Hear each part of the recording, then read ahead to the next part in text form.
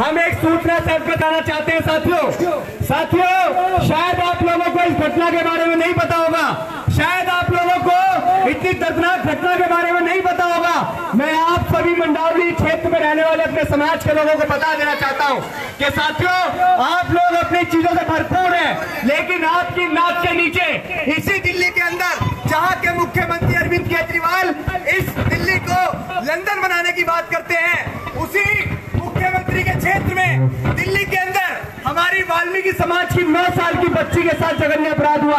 आप सभी को पता होगा कि जब इंसान मर जाता है तो उसको जलाने के लिए शमशान घाट ले जाया जाता है। लेकिन एक छोटी बच्ची, जिसकी उम्र मात्र नौ साल थी, वो हमारी दलित समाज की, वाल्मीकि समाज से ताल्लुक रखती थी। उसकी माँ ने उसको पानी भरने के लिए और उसको पानी पीने के लिए शमशान घाट के अंदर भेजा। मैं आप सभी लोगों को बता देना चाहता हूँ, आप सभी लोग बड़े ध्यान से इस घटना को सुने। कि वो नौ साल की बच्ची, जिसको शायद ये नहीं पता था, और शायद उसकी माँ को ये नहीं पता था कि जिस छोटी बच्ची को मैं पानी पीने शमशान घाट के अंदर भेज रही हूँ, वो वापस वो वापस मेरे पास नहीं लौटेगी। साथियों, वो बच्ची जब पानी पीने शमशान घाट के अंदर पहुँची तो शमशान घाट के अंदर पुजारी जो थे, वो हवस के पुजारी बैठे हुए थे मैं किसी धर्म को जय टारगेट नहीं कर रहा माता दी को हूँ जय मैं भीम। धर्म में बैठे और तमाम ठेकेदारों को टारगेट कर रहा हूँ जिन्होंने हमारे दलित समाज की बेटी के साथ नौ साल की बच्ची का जिसम नोच कर उसे ज़िंदा जला दिया। जब समाज के लोग इकट्ठा होकर वहाँ पहुँचे कि हमारी बच्ची, जिसको इतना समय हो गया जो पानी पीने शमशान घाट के अंदर पहुँची थी, वो वापस नहीं आई। तो जब लोग वहाँ पहुँचे तो साथियों, वो छोटी सी बच्ची, नौ साल की बच्ची चिता के अंदर जल जल रही थी, जिसको वहाँ के पुजारियों ने उसके साथ अपराध करके उसको ज़िंदा जला दिया और उसके दो पैर उसके दो पैर उसकी रोती बिलकती माँ को नसीब हुए। और मैं आपको बता दूँ कि ये सारी तमाम घटनाएँ आपके साथ जब तक होती रहेंगी जब तक आप चमार वाल्मीकि कोरी कुर्मी पासी धोबी धानु कहीर गटरिया गुजर जाट राय यादव तेरी तमोरी बटे रहेंगे। जब तक आप संपूर्ण बहुजन समाज नहीं बनेंगे तब तक आप बाबा साहब अंबेडकर की मुँह में जो चलेंगे तब तक जो घटना दिल्ली कैंट के नांगल गाँव में हुई है वो घटना वो घटना आपके घर में भी हो सकती है। वो घटना वो घटना आपके हो अगर आप चाहते हैं, अगर आप चाहते हैं कि इस नौ साल की बच्ची को इंसाफ मिले, इसको न्याय मिले तो आप लोग जाति धर्म छोड़कर और ये महसूस कर कर कि आपके घर में भी बेटी है, आपके घर में भी बहन है, आपके घर में भी महिलाएँ हैं, उस दर्द को समझकर आप हमारे साथ उस बहन को श्रद्धांजलि दें और सरकारों को यह चेताने का काम करें कि वो दलित समाज जिसके साथ सदियों का शोषण होता आया है अब चंद्रशेखर आज़ाद रावण के राज में उन महिलाओं के साथ वो लोग किसी भी तरह की जुल्म और ज़्यादा नहीं कर सकते हैं और इसी जयघोष के साथ आवाज़! आवाज़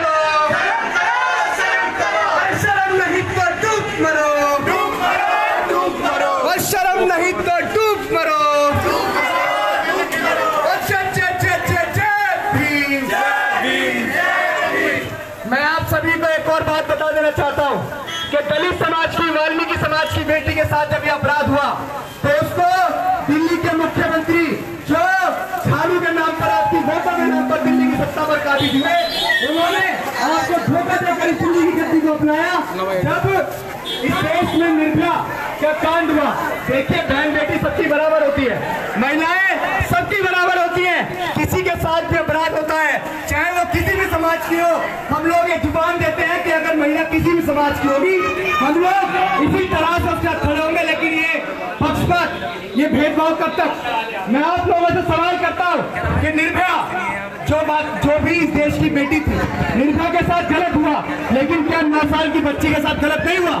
क्या हम लोग इस देश में मूल्यवासी नहीं है? क्या हम लोग भिखारी हैं? कि हमारी बच्ची जब मरी, उसकी माँ फुटपाथ पे भीख मांग के खाया करती है? बेचारी मांग कर अपने जो है घर की रोजी रोटी चला रही थी। नौ साल की बच्ची को उसने कैसे कैसे पाला होगा उसको यहाँ के केजरीवाल मुख्यमंत्री जो हमारी वोटों के नाम पे आया हमारी वोटों के नाम पे दिल्ली का मुख्यमंत्री बना उसने आपको खैरात में दस लाख रुपए दी और वो ये कहता है कि दलित समाज के व्यक्ति के साथ कुछ भी होगा तो हम लोग उसको एक करोड़ रुपए मुआवजा देंगे। मैं आपको बता दूँ कि हमारे देश के प्रधानमंत्री जो ये कहते हैं कि मुझे मत मारो हमारे दलित भाइयों को मत मारो, मुझे मार लो।